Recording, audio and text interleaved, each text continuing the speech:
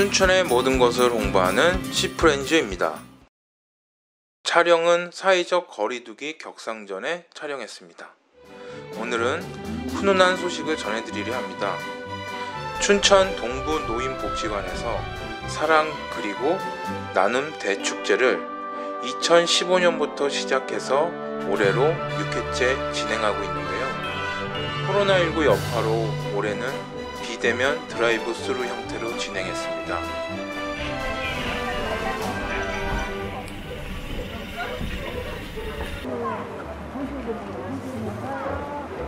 바자회 물품을 티켓으로 구입하고 미리 예약하신 분은 물품과 티켓으로 맞교환하고 찾아가는 형태로 진행을 했습니다.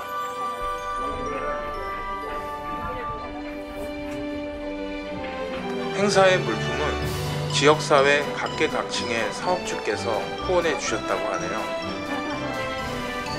완판이시네요 거의 거의 완판이죠 네 거의 완판 같은데.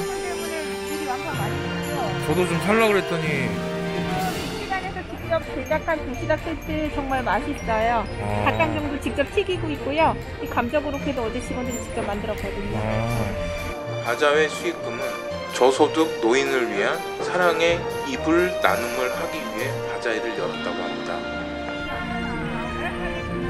저희 닭가지가 많고 다른 거 없고 혹시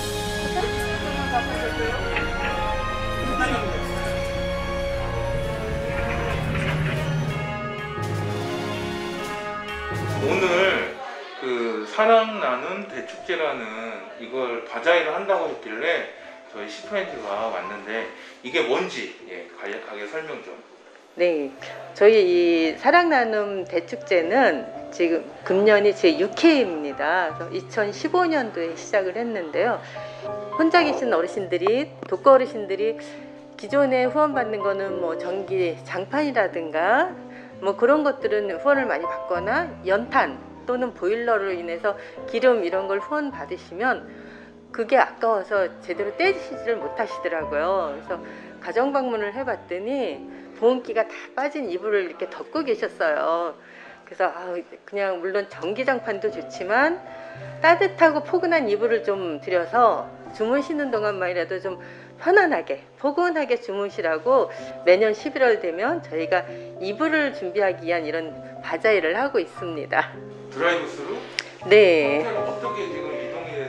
네. 인터넷으로 일단 사전 주문은 많이 받았습니다. 저희 네 저희가 티켓을 어, 그렇게 해서 어른 그분들이 필요한 부분들을 저희가 다 이렇게 봉송 싸듯이 다 준비를 해 놓으면 이분들이 오셔서 자동차로 오시거나 뭐 아니면 걸어 오셔서 바로 받아가실 수 있게 서로 접촉 안 하고 비대면으로 방역을 다 하는 상태에서 그렇게 할 수 있도록 지금 준비를 했습니다. 지금 업체 이거 기부잖아요. 네네. 그러면은 바자회니까 네. 네, 저희가 지금 한 30여 업체들이 십시일반 물론 이제 많이 해주신 것도 있지만 형편이 된 대로 조금씩 조금씩 다들 후원들을 해주셨습니다. 그래서 그 후원된 물품을 저희가 아주 저렴한 가격에 지금 판매를 하는 거고요. 이건 순수하게 후원해 주신 걸 갖고 저희가 이 기금 모금 바자회를 하는 겁니다.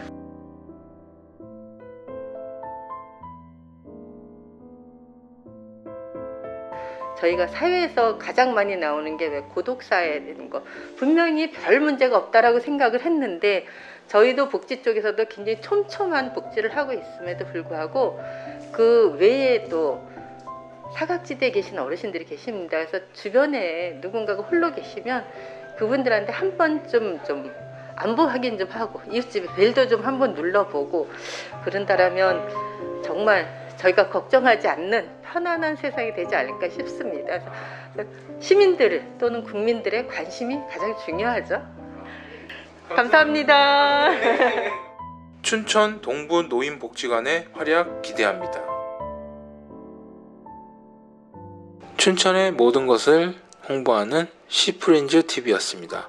구독, 좋아요, 큰 힘이 됩니다. 감사합니다.